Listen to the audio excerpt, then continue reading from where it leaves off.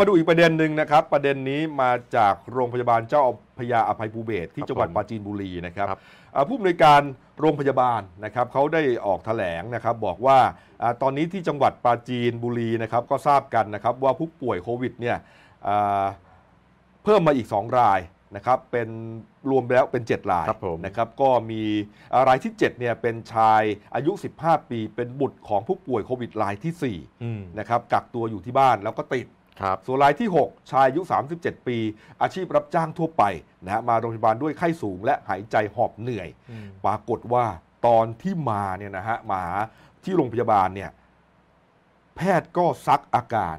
นะครับ แต่ว่าผู้ป่วยเนี่ยไม่บอก ปกปิดประวัติปิดเหรอ ปกปิดประวัติครับทำให้เกิดความเสี่ยงกับเจ้าหน้าที่ของโรงพยาบาลนะฮะ อืม คุณหมอนะครับอ่าพยาบาลนะครับเสี่ยง เสี่ยงที่มีความเสี่ยงที่อาจจะติดเชื้อไปด้วยเนี่ย25 คนนะฮะ โอ้ ต้องกักตัวเองอยู่ 14 วันนะฮะ เราพยายามที่จะเอาเรื่องประเด็นลักษณะเนี้ยมาบอกตลอดอืมนะครับว่าอย่าไปปกปิดคุณหมออย่าไปปกปิดข้อมูลอืมนะฮะ คุณหมอไม่ใช่เมีย ใช่ ไม่ต้องไปบังข้อมูล ผมเนี่ยปิดเมียตลอด ไม่มีปัญหาปิดเนี่ยตลอดไม่งั้นเนี่ยมันจะมีปัญหาไงอืมนะครับเพราะว่าพอหมอพยาบาลติดเนี่ยแล้วใครจะรักษาคุณอะคือคุณเสียบุคลากรทางการแพทย์ที่จะต้องมาดูแลพวกคุณเนี่ยโดยไม่จำเป็นเลเออยหมอเขาอาจจะไม่ติดหรอก แต่ว่า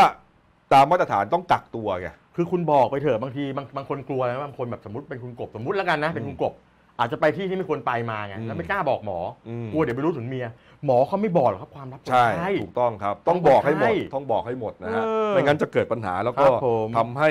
เอ่อโรคเนี่ยแทนที่มันจะเอาอยู่เนี่ยอืมมันก็อาจจะยืดเวลาออกไปนะครับใช่